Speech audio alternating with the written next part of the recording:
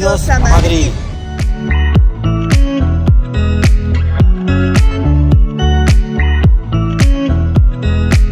Hola acompañantes de viaje, llegamos a Madrid. En esta video guía de España estaba faltando el itinerario por Madrid. Haremos un recorrido dividido en tres días, pero que fácilmente lo puedes adaptar a dos. ¿Comenzamos? Bienvenidos a Madrid.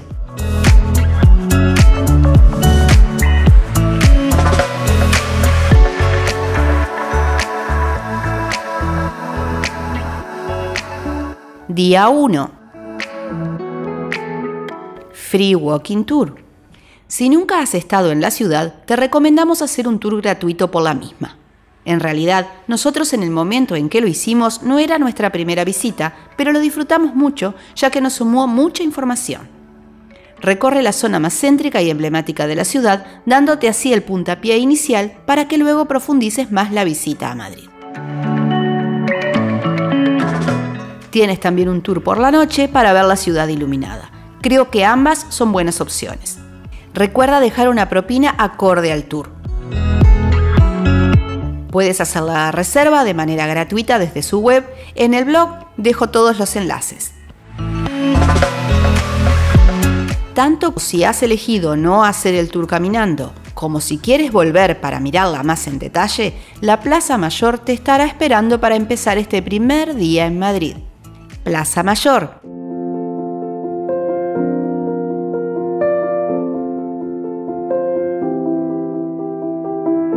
Mírala en detalle.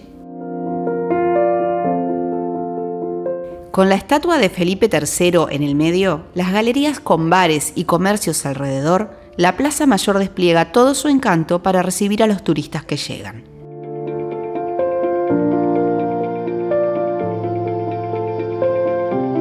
Es este, sin dudas, uno de los lugares más emblemáticos para ver en la ciudad de Madrid.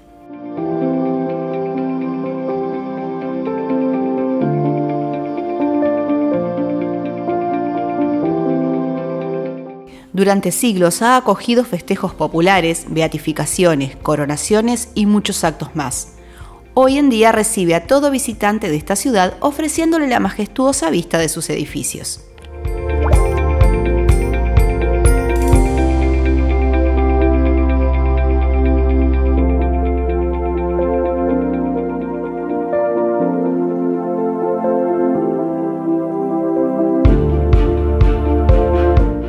Dato importante para los viajeros.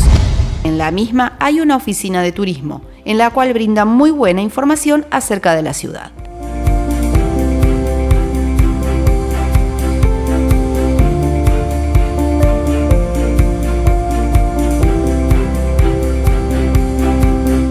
Si no hace demasiado calor, un buen plan es ir hasta la chocolatería San Ginés.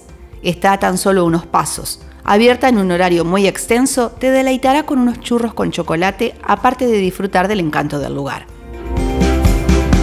Próxima parada, Mercado San Miguel.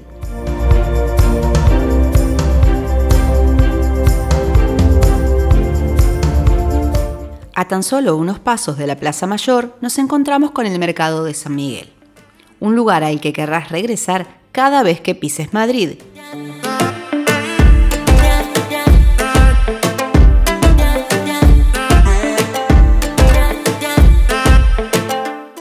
Inaugurado como mercado de abastos hace más de 100 años, hoy en día es uno de los mercados gastronómicos más destacados del mundo.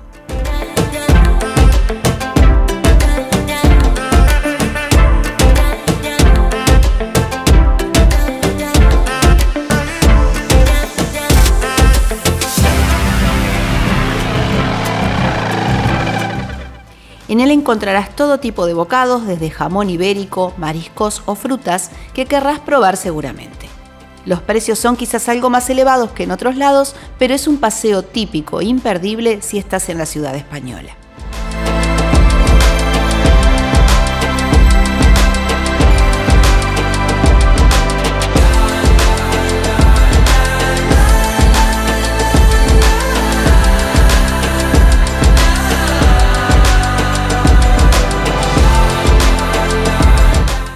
Nosotros para comer no lo hicimos en el mercado esta vez, sino en el mesón de la tortilla. Se los recomiendo, vale la pena, pídanse en una buena tortilla y está muy rica.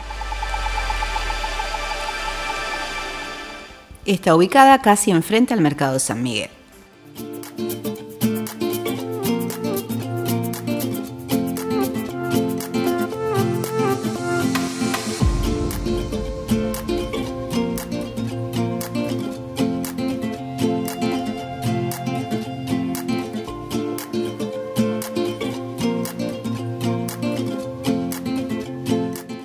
Nuestros pasos nos llevarán a la Catedral de la Almudena. Catedral de la Almudena y Palacio Real. Fue construida desde finales del siglo XIX al siglo XX, siendo consagrada en 1993 por el Papa Juan Pablo II. La entrada a la catedral es gratuita y el acceso al museo y a la cúpula tiene un costo de 7 euros.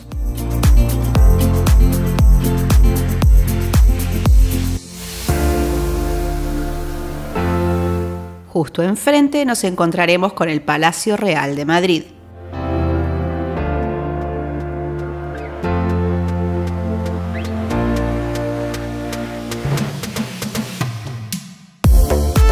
Diseñado en el siglo XVIII, es la residencia oficial de los reyes de España. Es utilizado solo para recepciones y ceremonias oficiales y se puede conocer tanto en una visita guiada como en una visita libre.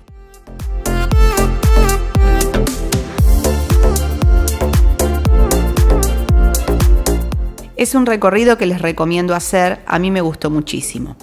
El precio de la entrada es de 12 euros para una visita libre. En el blog les dejo enlace para consultar por la visita guiada.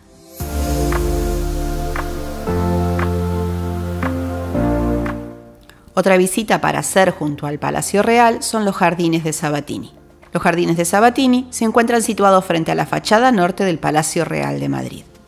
Estos jardines fueron construidos en la década de 1930 en el lugar que ocupaban las reales caballerizas construidas en el siglo XVIII por el arquitecto italiano Francesco Sabatini junto al palacio. En nuestra caminata pasaremos luego por el Teatro Real de Madrid. El Teatro Real es el Teatro de la Ópera de Madrid. Se encuentra en la Plaza de Oriente frente al Palacio Real. Su construcción comenzó en 1818 y fue inaugurado en 1850.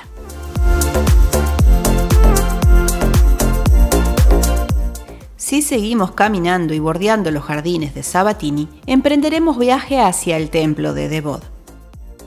Templo de Devod,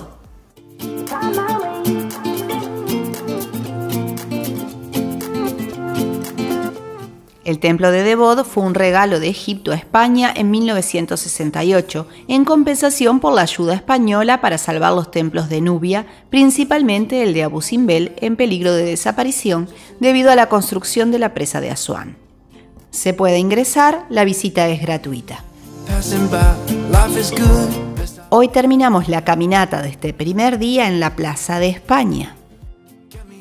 La Plaza de España es un amplio espacio ajardinado de la ciudad de Madrid, en el barrio de Argüelles.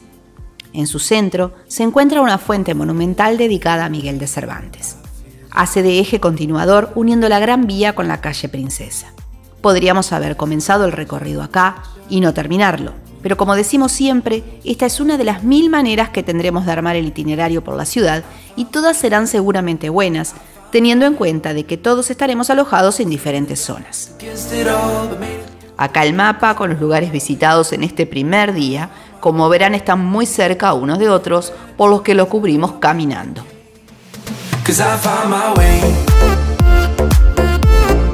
Día 2.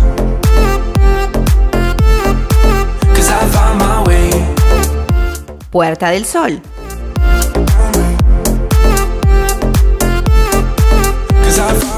Es este nuestro primer punto en el itinerario del segundo día en Madrid.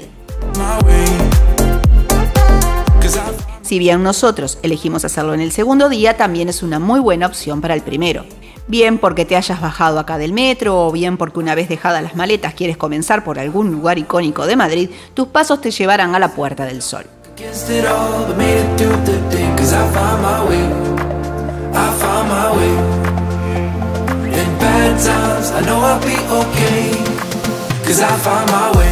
Estamos en el kilómetro cero de todas las rutas españolas y es una de las plazas más famosas de dicho país, lugar de encuentro de lugareños y de turistas.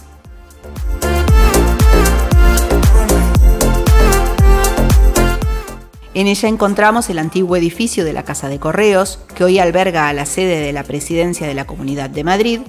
El reloj de la Casa de Correos es el que emite las famosas campanadas de la Puerta del Sol cada fin de año. Y lo que todos esperamos ver, el oso y el madroño, la famosa estatua que tan típica es en Madrid.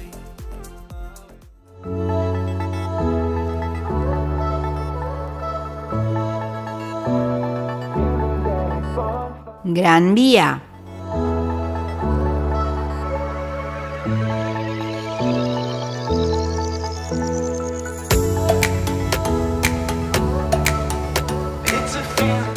Si bien quizás lo hayas elegido para el primer día, nosotros lo vamos a recorrer en segundo lugar después de la salida de la Puerta del Sol.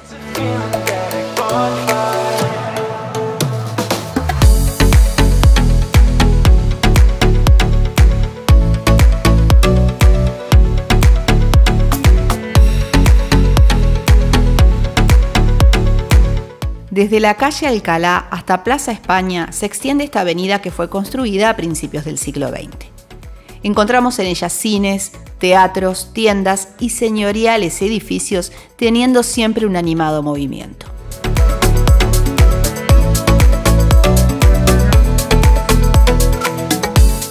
Hacerlo a última hora también es una muy buena opción, luego de haber recorrido plazas, mercados, un paseo por esta emblemática avenida y sus alrededores es un muy buen plan para luego buscar un lindo lugar para cenar o tomar algo.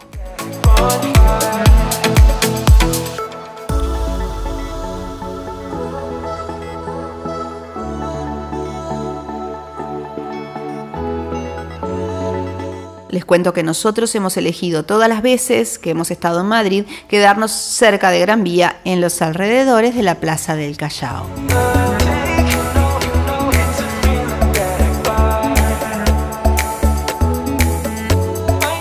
Aunque hayan elegido venir a la noche, como les decía, no se van a perder verla en el día, principalmente para admirar la cantidad de hermosos edificios que tiene.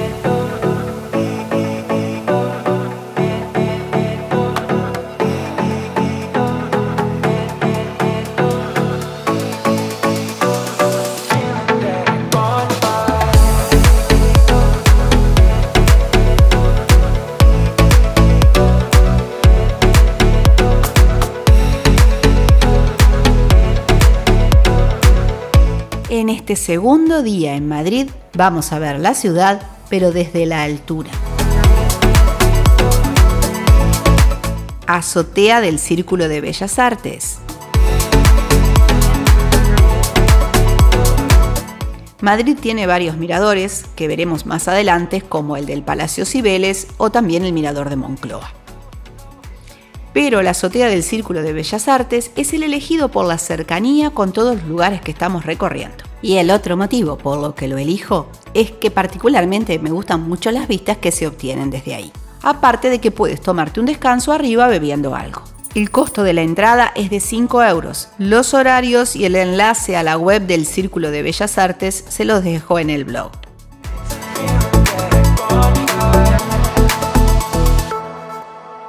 Fuente y Palacio de Cibeles.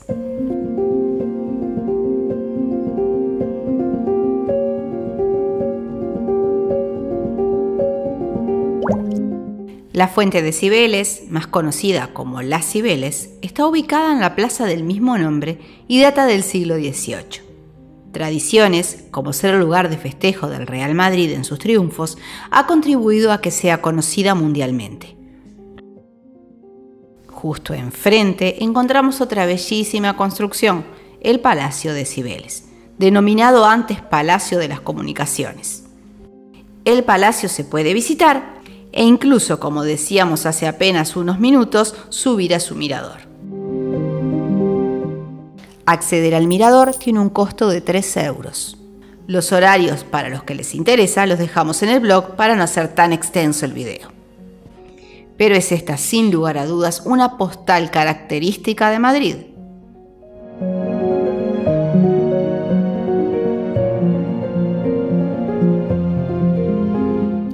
Neptuno es una de las fuentes más bellas y majestuosas de Madrid. La afición del Atlético de Madrid celebra sus victorias en la Plaza del Dios del Mar, así como hace unos segundos decíamos que en las Cibeles festeja el Real Madrid.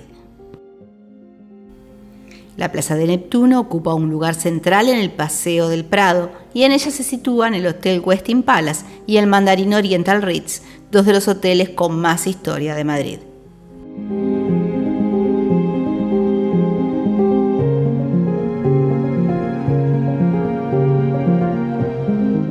Estación Atocha.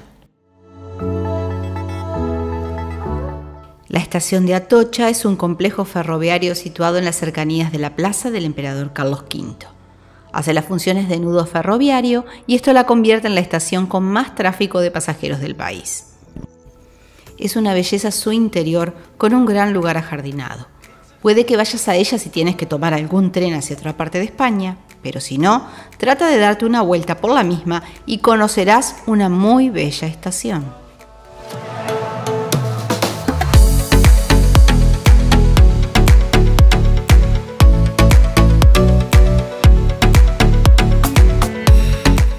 Museo del Prado. La visita casi esencial en Madrid, si te gusta el arte, es el Museo del Prado. Madrid tiene muchos museos que luego nombraremos, pero seguro que si has pensado en visitar Madrid, has pensado en visitar el Museo Nacional del Prado. Como verán, lo dejamos para lo último en este segundo día. ¿Por qué? Porque el horario de gratuidad es de lunes a sábados de 18 a 20 horas y domingos y festivos de 17 a 19 horas. El acceso al museo es hasta 30 minutos antes del cierre. A ver, como ven es poco el margen de horario y la cola te quitará tiempo, pero si quieres darle una mirada a las principales obras y de manera gratuita, es una oportunidad. El costo de la entrada general en horario normal es de 15 euros, pero como dijimos, si quieres puedes aprovechar el horario gratuito. Nosotros así lo hicimos. Si quieres ir con toda la tranquilidad todo el tiempo saca tu entrada y aprovecha del Museo del Prado, que es un bellísimo museo. Como siempre les digo, chequeen antes en la página oficial porque las cosas cambian. Les dejo la misma en el blog.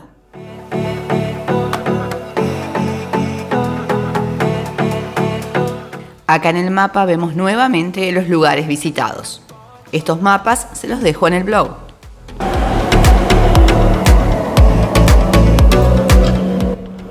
Día 3.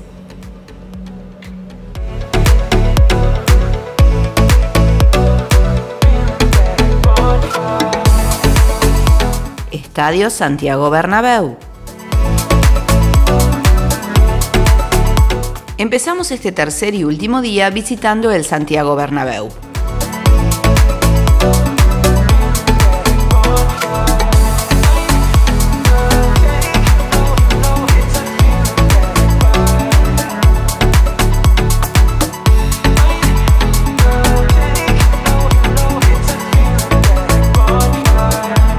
El Bernabéu ofrece, como otros estadios en el mundo, un tour por sus instalaciones.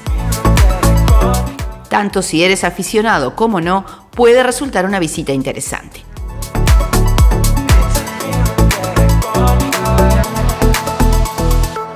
Como verán, en el momento de esta visita el mismo estaba en obras.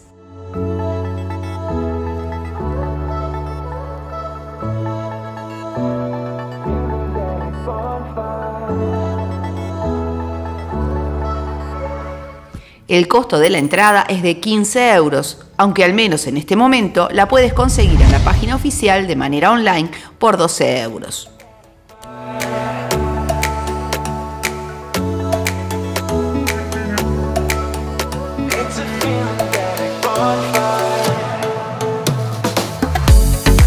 Plaza de Toro de las Ventas. Ir a ver esta construcción en este segundo día puede ser una opción. Es la plaza de toros más grande de España y la tercera del mundo con más aforo, por detrás de México y Valencia de Venezuela. Y ahora nuestros pasos continuarán viaje hacia la famosa Puerta de Alcalá.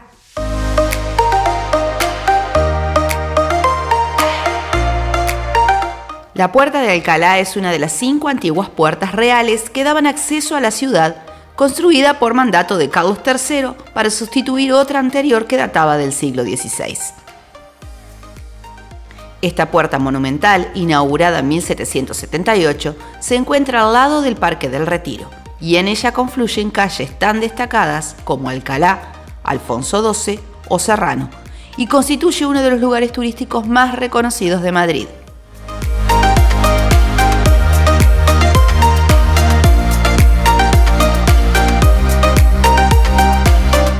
La puerta y su porte ha adquirido con el tiempo la categoría de símbolo madrileño. Aparece en álbumes de postales y en logotipos en representación de la ciudad. Sin duda, al verla, se nos viene a la cabeza la canción popularizada por Ana Belén y Víctor Manuel.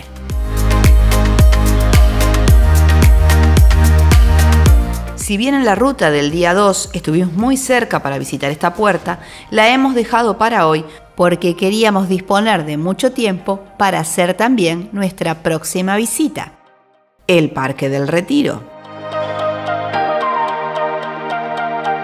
Llegamos al Parque del Retiro. Si hay algo siempre que pensaremos en visitar en Madrid es este parque. Desconéctate por un rato del ajetreo de la ciudad y disfruta este tranquilo paseo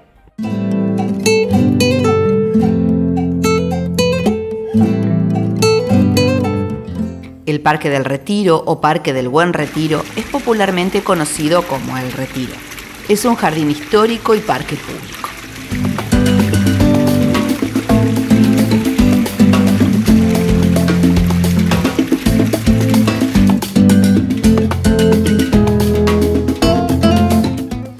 Considerado como una de las principales atracciones turísticas, posee figuras arquitectónicas y paisajísticas entre las que destacan el monumento a Alfonso XII, el Palacio de Cristal, el Estanque Grande, el Parterre, la Puerta de Felipe IV, el Real Observatorio Astronómico y la Fuente de la Alcachofa.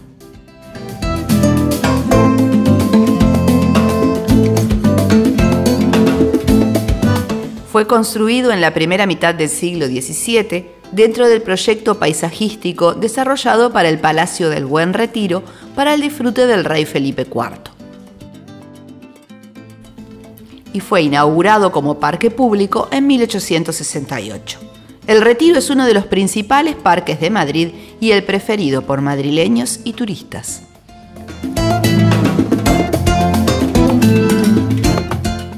Desde julio de 2021, el Parque del Buen Retiro es reconocido como paisaje cultural Patrimonio Mundial de la UNESCO junto al Paseo del Prado.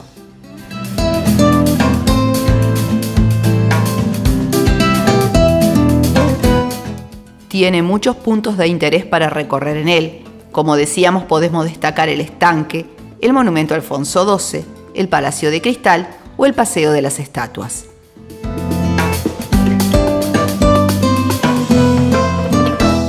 Es un lugar ideal para dar unas lindas caminatas y relajarnos en la ciudad española. El horario, desde octubre hasta marzo, de 6 a 22 horas. Desde abril hasta septiembre, de 6 a 24 horas.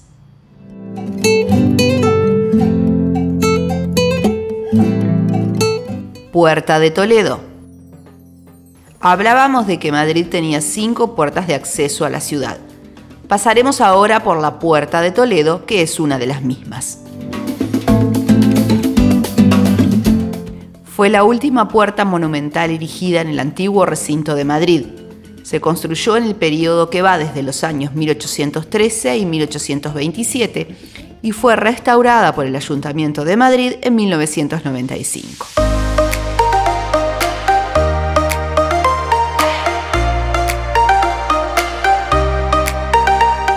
Un recorrido por algunos barrios de Madrid puede ser una opción genial para complementar este u otro de los días. Si no quieres hacerlo por tu cuenta, tienes free tours por Chueca y Malasaña, por Lavapiés y La Latina o por el barrio de las Letras, por ejemplo.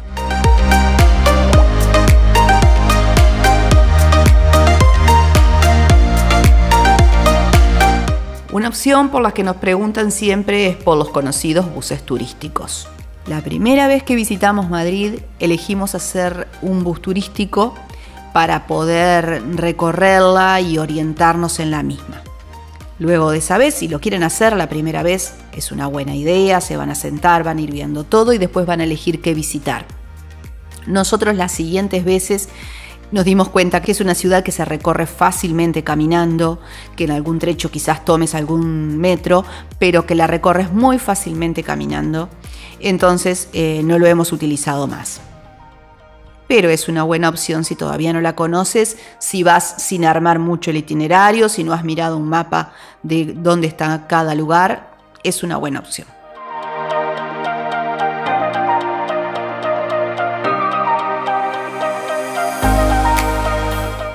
Vamos ahora a nuestro último punto en la ciudad, Faro de Moncloa. El Faro de Moncloa se trata de una torre de iluminación de 110 metros de altura, construida en 1992, año en que la ciudad fue designada Capital Europea de la Cultura.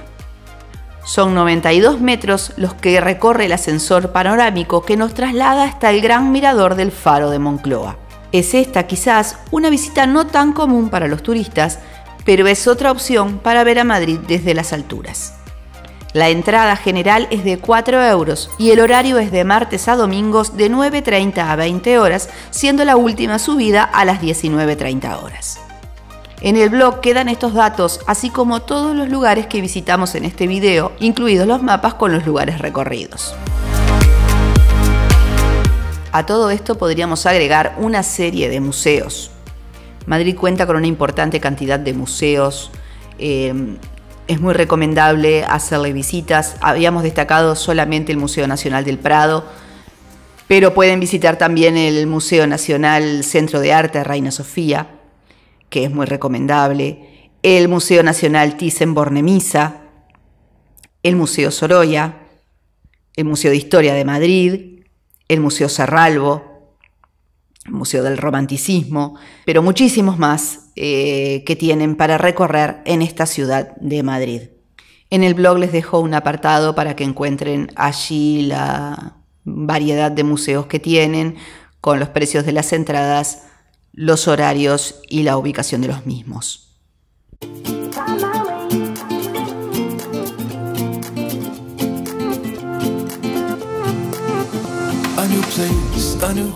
Madrid es una ciudad para caminarla, no te vas a cansar haciéndolo, o al menos no mucho. Para algunos puntos un poco más alejados, como los del tercer día, será conveniente hacer el traslado en metro o en autobús.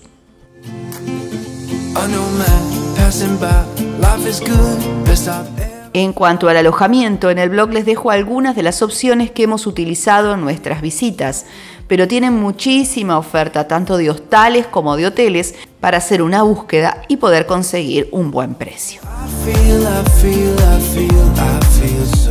Acompañantes de viaje ha sido este un recorrido turístico por la ciudad de Madrid, lo que generalmente vamos a ver las personas que vamos desde fuera de España y que queremos conocer esta capital española.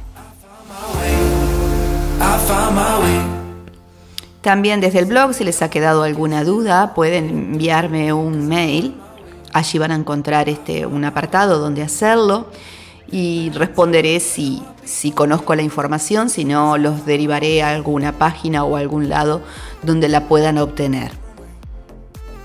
Armé también un PDF con los principales lugares que hemos nombrado acá, como para que les quede la información guardada o algún datito más si lo quieren, eso solicítenmelo por favor por mail desde el mismo, desde el blog. Acompañantes de viaje, hasta acá el video de hoy. Si el video te ha gustado y te ha servido de ayuda, no olvides suscribirte, darle like y compartirlo con otros viajeros a los que les guste armar sus propios itinerarios. Hasta nuestro próximo video cuando les preguntemos, ¿estás armando un viaje a... I found my way. In bad times, I know I'll be okay. Cause I found my way.